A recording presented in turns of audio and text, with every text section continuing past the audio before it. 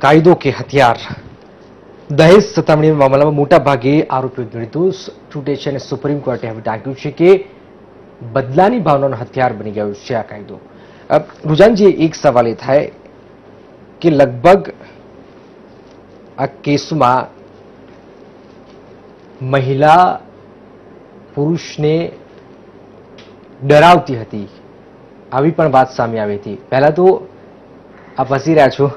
ડરાવતી હતી ખરી અને ઘણી બધી ડરાવવાની વાતો પણ મહિલાઓ દ્વારા કરવામાં આવતી. ખોટો મિસઉપયોગની વાત કરવામાં આવતી કે મિસયુઝ થઈ રહ્યો છે. ખરેખર થઈ રહ્યો છે પણ વાતો સામે આવી હતી. ઘણા બધા લોકો કહી રહ્યા હતા, ઘણા બધા પતિઓ કહી રહ્યા હતા કે ભાઈ મિસઉપયોગ થઈ રહ્યા છે અમને ડરાવી રહ્યા છે.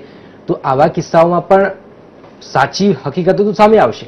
સી તમે જે કહો છો કે બધા પુરુષો કહી રહ્યા છે કે મહિલાઓ ડરાવતી હતી એટલે મને નહીં લાગતું બધા ડરે એવા? પચાસ સી તમારી પાસે જે કેસીસ છે મને ખબર નથી પણ જેટલા હું કેસીસ પોતે હેન્ડલ કરી રહી છું બહેનોના જે મને ખબર છે કે બિચારી બહેનો બેટથી માર ખાય છે બિચારી બહેનો પેલો રોજ દારૂ પીને મારે છે બિચારી બહેનોના બાળકો રજલાય છે. મારી પાસે આવા બધા પ્રેક્ટિકલ કેસીસ છે. અને એક એક ના હું તમને કેસ કહી શકું છું કારણ કે અમારી અમે જે દોડીને બચાવવા જઈએ છીએ એ લોકોને એટલે એક એક પ્રેક્ટિકલ એટલે ઘણી વાર તો મહિલા બીકોઝ ઓફ સોશિયલ સ્ટ્રક્ચર અત્યારે વચ્ચે જે કેસ આપું છું કે એક મહિલાના પતિએ એની ઉપર કેરોસીન નાખ્યું તેલ રેડ્યું છે તેલ. એ મહિલા ગભરાઈ ગઈ ફોન કર્યો. અમે કહ્યું કે બેન તમે શું કહેવાય તમે દરવાજો બંધ કરીને બેસો પોલીસ આવે છે તમને બચાવવા. પોલીસ એને બચાવી. પોલીસ પોલીસ સ્ટેશન લઈ ગઈ છે ને એ બેને તો બી because of our social structure social fabric એને કેસ ના કર્યો પેલા હસબન્ડે માફીનામું લખ્યું. હું તમને આવા કેસીસ કહેવા માંગુ છું સાહેબ. એટલે આવી બહેનો બી છે જે લોકોને સોશિયલ સ્ટ્રક્ચરના લીધે એ લોકો ગભરાય છે અને એ લોકોને ન્યાય પછી જતા બી નથી એટલે એ લોકોને ફોર ભલે ખબર હોય ના હોય પણ દે આર નોટ યુઝિંગ એક એક કિસ્સો એવો હતો નરોડામાં. કે પતિએ આત્મહત્યા કરી. આ એક મહિના પહેલાની વાત છે. અને એમાં એવું કહ્યું કે ભાઈ પત્ની મને વારંવાર આ પ્રકારના બીજી બાજુ પણ જોવાની જરૂર છે. એવું નથી. વસ્તુને હાઇલાઇટ કરો છો. એવી કેટલી સ્ત્રીઓના અપમૃત્યુ થાય છે? તમે એ સ્ત્રીઓના અપમૃત્યુને કેમ નથી જોતા? કોઈ એક હું એમ નથી કે પતિએ કોઈ આત્મહત્યા કરી એટલે- ટકા પાવર દોષ એવી વાત પણ નથી. ના ના એ પણ આ એક એ- હકીકત છે કે પતિ પણ આત્મહત્યા કરે છે. હું આ જ કહું છું કે આવી બધી બાબતોને વધારે ઉજાગર કરવામાં આવે છે અને એટલે જ પછી એવું કહેવામાં આવે છે કે સ્ત્રીઓ મિસયુઝ કરે છે. માત્ર કોઈ એક પતિ હું એમ નથી કહેતી કે એને જે કર્યું છે એના પર જે વીત્યું હશે તો એ ખોટું છે. એ ખોટું જે છે એ ખોટું જ છે. પણ તમે આવા જ પ્રકારના એકાદ ને એકલ દોકલ કિસ્સાઓ લઈને જયારે વાત કરો છો. કિસ્સા વધી રહ્યા છે. એક બે ના, એમ કહો, કે કેટલા વધી રહ્યા છે. ક્યાં વધી રહ્યા છે? તમારી પાસે એક મહિના પહેલા? નરોડામાં એક પતિએ સાહેબ, રેકોર્ડિંગ કરી અને કહ્યું કે મારી પત્નીના શારીરિક માનસિક ત્રાસથી હું આત્મહત્યા કરું છું અને મને કાયદાનો ડર બતાવવામાં આવતો હતો અને એને આત્મહત્યા તમે. એકને લઈને જનરલાઇઝ ના કરી શકો. સી આ આપણા સમાજમાં ઓલવેઝ આ વસ્તુ થાય છે કે કોઈ એક આવી ઘટના બને એટલે એને જનરલાઇઝ કરીને બધી સ્ત્રીઓ આવી છે અને બધા પુરુષો બિચારા દબાયેલા સ્ત્રીઓ આવી છે, પકડાયેલા આવી છે. દેટ ઇઝ નોટ ફેર અને આવા જ બધા મંતવ્યના કારણે આવા પ્રકારના જે છે એ સમાજમાં વિવાદો ઊભા થાય છે. એક પતિએ કે એક પુરુષે આવી આત્મહત્યા કરી એવી કેટલીય સ્ત્રીઓ છે કે જે રોજે રોજ મરે છે. આપણા ગુજરાતના જો આંકડા જુઓ તો તમને ખબર પડે કે રોજના સ્ત્રી મૃત્યુ કેટલા થાય છે દહેજ મૃત્યુ પ્રમાણ કેટલું છે? તો આવા ચાલુ કેસમાં હવે શું અસર થઈ શકે? સી હવે થયું છે શું? જે પહેલા બી આપણે ડિસ્કસ કર્યું કે હવે આ થોડો જે આપણે સ્ટ્રોંગ કાયદો હતો કે પહેલા તો પેલા પતિ બોલો યા એમના સસરા સાસુ જે હશે એટલે જે બધાને અંદર આપણે મૂકી દેતા હતા. હવે આમાં એવું પ્રોબ્લેમ શું થઈ ગયો કે હવે પેલા પોલીસના જજમેન્ટ પર હશે યા એ તહેકીકાત કરશે ઇન્વેસ્ટિગેશનમાં એને બિચાર પાસે ટાઈમ હોય ના હોય બીજા down the level up the level લોકો કરશે. એટલે આખો જે પહેલા એટલીસ્ટ જે પેલા બેનને પ્રોટેક્શન જેન્યુઅન બેનને જે પહેલા પ્રોટેક્શન મળતું હતું તરત એ તરત પ્રોટેક્શન નીકળી ગયું છે. એટલે સૌથી પહેલા એ અસર એ થશે. બીજું હવે આ બી આવશે પ્રોબ્લેમ જે બીજા રેપ કેસીસમાં ને બધામાં આવે છે કે પેલો ધમકી આપશે એમના બધા પ્રેશર લાવશે બધા આજુબાજુ વાળા કારણ કે અત્યારે વચ્ચે એક મારો કેસ થયો તો બેટ વાળો કેસ હતો. એમાં પેલી બાઈને તો એટલા હદ સુધી કે એમના સસરા લકીલી બાઈના જે બેન હતા એના નાના બાબાએ બાર વર્ષના બાબાએ બુદ્ધિ ચલાવીને રેકોર્ડિંગ કરી લીધું છે કે સસરા પેલી ભપાથી તો ભાગી ગયો મારીને બેટ બરોબર? એટલે પોલીસ આવી ગઈ હતી એટલે પોલીસે બી લોકો કહ્યું કે આ તો અંદર અંદર મામલો છે કે પોલીસે બી સાઈડ એ કર્યું. પછી સસરા એને સમજાવે છે કે દીકરા ના કર આમાં શું મળશે તને? તારું કેરિયર બગડશે તો આપણા નાના નાના બાળકો છે એટલે આ બધું પેલા છોકરાએ રેકોર્ડિંગ કરી દીધું છે. પણ હવે આવા કેસીસમાં અગર માની લો કે કાલ ઉઠીને પેલી છોકરી જાય કે આ જો આવી રીતે કર્યું તો પોલીસ કહેશે કે અમે વિચારશું જોશું. પેલા સાસુ સસરા બચી જશે નીકળી જશે. આ જેન્યુઇન કેસમાં વાત કરું છું. ઝઘડો પ્રોબ્લેમ ક્યાં થયો? જે સુપ્રીમ કોર્ટ એટલે મેં કહું કે આને પાછું રિવ્યુમાં જવું જ જોશે આને. કારણ કે પ્રોબ્લેમ શું છે કે થોડા એવા કેસીસ આયા તમે સાંભળ્યા છે કે જેમાં પેલા હસબન્ડ ને વાઈફ ક્યાંક રહેતા હોય ને સાસુ સસરા ક્યાંક રહેતા હોય તો બી પેલા થેન્ક્સ ટુ ધ વકીલ એ લોકો સાસુ સસરાને ફિટ કરે. હવે જયારે સાસુ સસરા બિચારા અપાહિત સાસુ સસરા હોય તો ત્યાંથી કઈ કરવાના હતા? એવા કેસીસ થોડા ઉજાગર થઈ ગયા અને એના લીધે આખો કેસ બગડી ગયો છે. પણ હવે અત્યારની તારીખમાં હવે અમે આપણી બધી જસ્ટિસ ડિલેડ જસ્ટિસ ડિનાઇડ થઈ હતી. અમે ડેલી પાંચ પાંચ વર્ષે કેસો ચાલતા હતા. હવે આના લીધે પાંચ ના બદલે દસ વર્ષે કેસો ચાલશે. એટલે આ બહુ એક નેગેટિવ ચીજ થઈ છે. એ જ વાત છે કે આ કાયદામાં પતિ તો ઠીક એના સસરાનું નામ આવે એના સાસુનું નામ આવે એનું બહેનનું નામ આવે. અને આ બધા મુદ્દાઓને સુપ્રીમ કોર્ટે અવલોકન કર્યું છે કે ભાઈ એ તો ગામમાં રહેતા હોય સિટીમાં એ લોકો રહેતા હોય તો એ લોકોને ભાઈ આવવું પડે. અને બહુ બહુ ત્રાસ એ લોકો પર વર્તાય છે. એટલે બધાને આવવું પડે છે. પરંતુ એક એક વાત છે કે સરકાર આ કાયદા પર પુનઃવિચાર કરી શકે ખરું?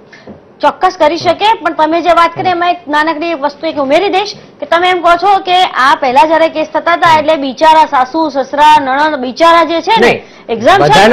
એક વસ્તુ સમજો કે એ બહુ હેરાન થતા તેની વાત કરો છો ને પણ કોર્ટમાં આયા પછી હેરાનગતિ કોની થાય છે એ જે કોર્ટમાં પ્રેક્ટિકલી જે રોજ જતા એને ખબર પડે. જ્યારે કોઈ એક સ્ત્રી ફરિયાદ કરે છે ને ત્યારે એ ફરિયાદી પોતે જાણે ગુનેગાર હોય ને એવું આખું એના પ્રત્યેનું વર્તન હોય છે. કોર્ટનું વર્તન પણ આવું હોય છે. એટલે ખરેખર તો બિચારી જે છોકરી કે જે સ્ત્રી આવા પ્રકારની ફરિયાદ કરતી હોય છે ને એ ગુનેગાર બની જાય છે. ગુનેગાર ખરેખર જેના ઉપર એને આરોપ લગાડ્યા છે એ તો એક્ઝમ્પશન પર એક્ઝમ્પશન લઈ અને પેલી જે સંજય દત્તનો પેલો ડાયલોગ હતો તારીખ પે તારીખ તારીખ પે તારીખ તારીખ પે તારીખ થયા જ કરતી હોય છે. એટલે આમાં તો બિચારી બાપડી તો પેલી જે આંબી વનરેબલ છે એ વધારે વનરેબલ થાય છે. એટલે એને કેસ કરીને કોઈ ફાયદો નથી થતો. અને ઉપરાંત આ પ્રકારની જે બીજી એક સજા એને મળી ગઈ છે. અને રૂઝાને બહુ સાચી વાત કરી કે હવે પાવર સ્ટેશન બદલાયું. હવે આજે આખું શિફ્ટ થયું છે એ થયું છે પોલીસ સ્ટેશનમાં ત્યાં જ બધું નક્કી થઈ જશે કે હવે આગળ શું કરવું ને શું ના કરવું. એટલે ફરી પાછું આ પાવર સ્ટેશન શિફ્ટ થઈ ગયું છે. એટલે હવે તો આ પહેલા પગથિયે જે બેન ધડામ જઈને જાણે દસમા વાળાથી એવું પણ બની છે. શંકાસ્પદ બનવાની સો ટકા બનવાની છે. તો રુજાનજી ખાસ કરીને હવે શું થઈ શકે? આવા કેસો. હવે સી આલ ટેલ યુ વન આવા કેસમાં there are two three ways to go about it one તો કે રાઇટલી સેટ કે જે આપણે પોલીસ વાળાના હાથમાં સત્તા છે તો દેટ શુડ બી હવે અમે અમે- તો at least what I teach every women કે જે કારણ કે કહે કે ભાઈ વર્ષોથી માર ખાઉં છું. ડન એક્સેપ્ટેડ કે ભાઈ તું વર્ષોથી માર ખાય છે. તો હવે તું એનું વીડિયો રેકોર્ડિંગ કર. આજકાલ તો વીડિયો રેકોર્ડિંગ ઓડિયો રેકોર્ડિંગ બહુ. સિમ્પલ થઈ ગયું છે. એટલે એની એવા એની પાસે ઠોસ સબૂત તો હોય ને કે અગર સાસુ સસરા ત્રાસ આપતા હોય ગાળો આપતા હોય મારતા હોય તો કંઈક ને કોઈક રીતે રેકોર્ડિંગ તો થઈ જ જાય છે. એટલે તમે એ રેકોર્ડિંગ કરો છો. ધેટ એટલે હવે તું બધાને કહું છું, હિંમતે તો મદદે ખુદા તમારે પોતાને જાતને પોતાને બચાવવાની છે કોઈ તમને કોઈ સુપરમેન આવીને બચાવવાનો નથી. એટલે કમિંગ બેક ટુ એક તમારે આ પોઈન્ટ કરવો પડશે. બીજો કે એઝ રાઇટલી સેડ કે આપણે રિવ્યુ કરાવીએ જે સુપ્રીમ કોર્ટમાં આઈમ શ્યોર બધા સારા વકીલો બધા બેઠા છે જે જજને પોતાના બધા સ્ટેટિસ્ટિક્સ કારણ કે કઈ કંઈક પણ કોઈ સ્ટેટિસ્ટિક્સ કોઈ કે આપ્યા હશે કોને શું સ્ટેટિસ્ટિક્સ આપ્યા આપણને ખબર નથી કારણ કે મારી પાસે સ્ટેટિસ્ટિક્સ છે નહીં. પણ કંઈક સ્ટેટિસ્ટિક્સ આપી હશે એવા સ્ટેટિસ્ટિક્સ રિવ્યુમાં મૂકવા પડશે કે ના સાહેબ આ રીતે છે ને આ રીતે છે. અને એમાં લેટ અસ સે કે અગર એના ગાઈડલાઈન બી અપાય, આપણે બ્લેન્કેટ રિવ્યુ નહીં કરવાનું, પણ ગાઈડલાઈન બી અપાય અગર સાસુ, સસરા એ જગ્યાએ ન- કારણ કે મેજરલી મને ખબર છે કે આ મેજરલી આ સાસુ, સસરા બારગામ રહેતા હતા, બે બેન બારગામ રહીને એની પર કેસ થતા હતા. એટલે એવી ગાઈડલાઈન પર કામ કરાય કે ચલો હસબન્ડ ને પહેલા પકડો હસબન્ડ ને ઇન કરો એટલે જેલમાં કરો, પણ સાસુ, સસરા પાસે તમે રિવ્યુ કરો, એટલે એવું બી કોર્ટ લઈ શકે છે વ્યૂ પણ we will have to now strongly represent અને એની બહુ જરૂર છે. અધરવાઇઝ આઈ એમ શ્યોર આ લો બહુ જ મિસયુઝ થશે અત્યારે. એ એક સવાલ મીનાજી એક થાય કે આવા કિસ્સામાં શહેરી મહિલાઓને કદાચ ખબર હોય છે. હવે આપણે ગ્રામીણ મહિલાઓની વાત કરીએ. ગ્રામીણ મહિલાઓને તો આ બાબતની ખબર જ હોતી નથી. તો આવી મહિલાઓ જે પતિના ત્રાસથી જીવતી હોય તો આવી મહિલાઓએ શું કરવું જોઈએ? કશું નહીં એમને તો ખબર જ નથી. સી એમની પાસે રિસોર્સિસ નથી. એમની પાસે ક્યાં જવું એનું જ્ઞાન નથી. તો આવી મહિલાઓ જે છે અડસઠ ટકા મહિલામાંથી હું એવું માનું છે કે સાહીઠ ટકા મહિલાઓને આવો ત્રાસ હશે.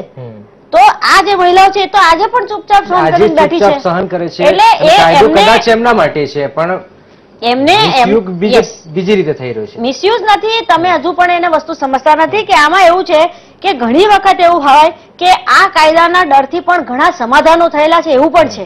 રેકર્ડ પર છે. કે ભાઈ આપણે ફરી પાછા કોર્ટના ધક્કા ખાવા પડશે આપણે પોલીસ સ્ટેશનના ધક્કા ખાવા પડશે એના કરતા સમાધાન કરી લઈએ. એટલે આ જે છે એ આ મિકેનિઝમથી પણ કામ કરતું હતું. આ જે કલમ જે છે તે પણ હવે બિલકુલ જ આમાંથી જે આખું એક એલિમિનેટ કરી નાખ્યું છે તત્વ કે આમાં એની ધરપકડ નહીં એની સામે તાત્કાલિક એફઆઈઆર નહીં સી આ આખું એક ષડયંત્ર એ પ્રકારનું પણ છે કે આમાં તમારે આખા દેશમાં ક્રાઇમ અગેન વિમેન જે છે એનો રેટ જ ઘટાડી નાખો. કેમ કે જ્યારે ગુનો નોંધાશે જ નહીં તો પછી તમારા ત્યાં દેશમાં અમન શાંતિ સમાનતા બંધુત્વ ભાઈ બહેન બધું જે કહો બધા પ્રકારના ગુણો આવી છે રાખીશું. એ એક વિરામ બાદ. રોકાઈશું એક વિરામ માટે?